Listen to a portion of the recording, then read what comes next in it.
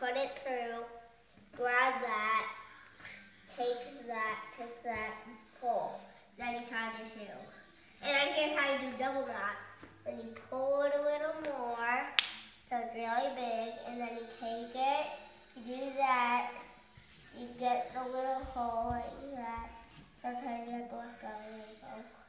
Then you take the loop, wrap it like that, and then do it again, and then you do that. And then that's how you do double knot.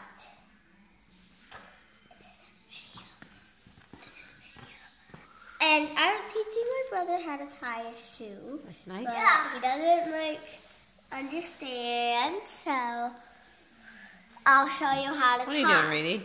What? What are you doing? So I'll show you how to tie. Carpet. But Oh. if you the carpet, I'll show you how to tie. So first, Uh, here, it's